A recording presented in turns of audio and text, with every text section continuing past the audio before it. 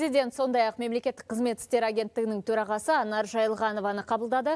Былтыр агенттіктің штаты 10 пайызға қысқарған. Ақпанның соңына дейін тағы 15 пайызға оңтайландыру жоспарланып отыр. Кездесуде агенттіктің өткен жылғы жұмыс қорытындылары да баяндалды.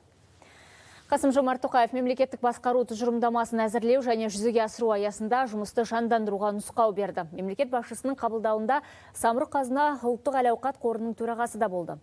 Былтыр қор компаниялар активтерінің өсімі 800 миллиард теңгеге жеткен. Ахметжан Есімов отандық тауар өндірушілерді қолдауға бақталған жұмыстар туралы баяндады.